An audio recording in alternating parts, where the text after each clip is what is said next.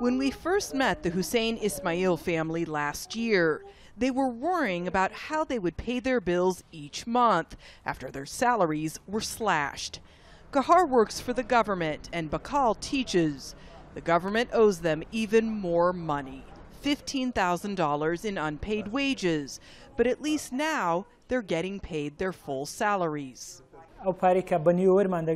We still feel insecure. We're getting our full salaries now, but we can't be sure that'll be the case next month.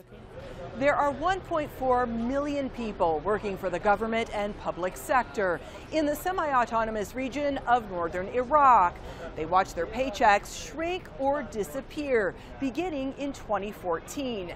That's when the war with ISIL began, the price of oil plummeted, and the federal government in Baghdad cut budget payments to the Kurdistan regional government austerity measures were implemented and workers paid the price with reduced salaries.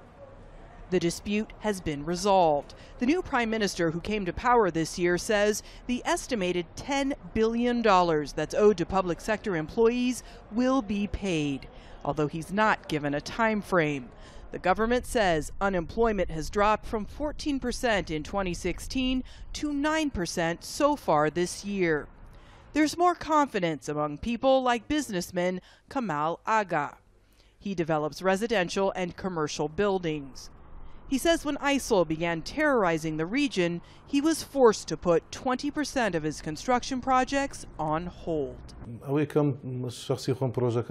I lost between 14 and 16 million dollars. Now I have a belief with the stability of the situation in the Kurdish region, the wheels of the economy will be back on track. We'll earn money again and business will be fine. With the freedom to think beyond meeting their minimum expenses, Bakal is focusing on the family's future. We have plans in our heads. The first one is to visit the doctor so we can pay for fertility treatments to have a second child. If we keep getting our salaries as we are now, we'll be able to fulfill our dreams. For their four and a half year old daughter, Tanuk, the hope of having a sibling to play with can't come quickly enough. Natasha Ghoneim, Al Jazeera, Erbil.